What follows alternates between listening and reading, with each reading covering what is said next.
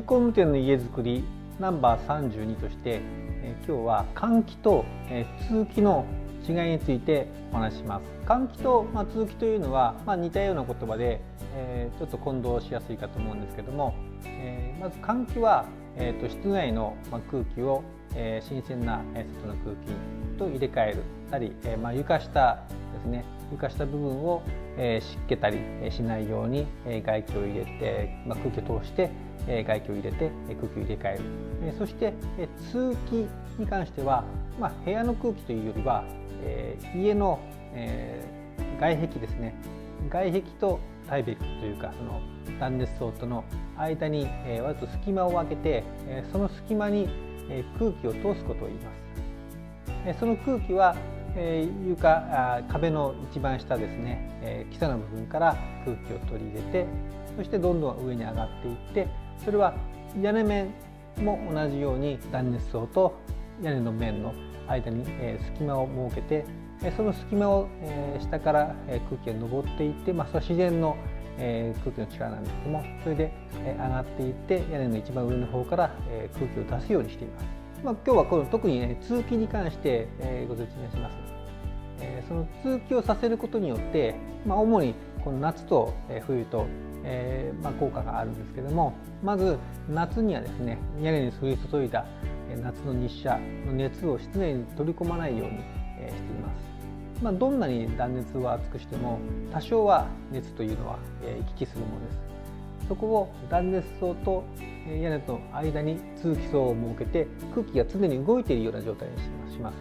まあ、そうすることによって屋根の表面の熱を室内側に入れないようにしています。今度は冬ですね。冬は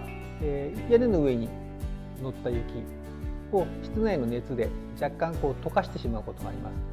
これも夏と同様どんなに熱い加熱をしても直接触れていれば熱はゆっくりでも伝わっていって屋根の雪を溶かしてしまいます。屋根の雪を溶かすことによって雪の下の部分が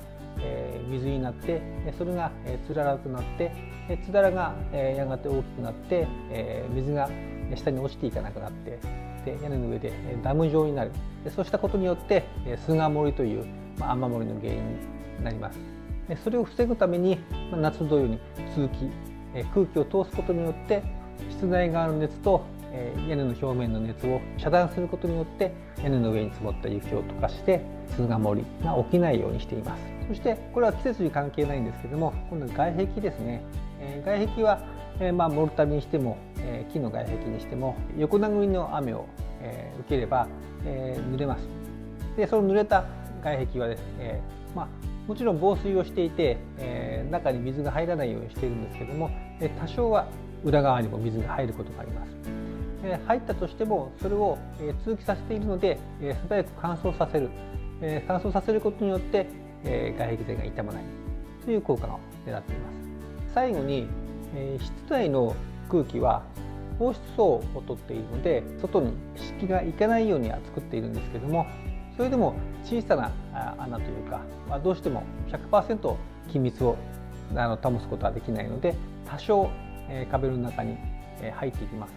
その入った多少入った水蒸気を排出できるように外に、えー、うまく逃がすように、え、作っています、え、こういった意味で通気層というのも設けています。もちろん、え、換気も大切なんですがこの通気、え、というシステムを、え、きちっと、え、施工することも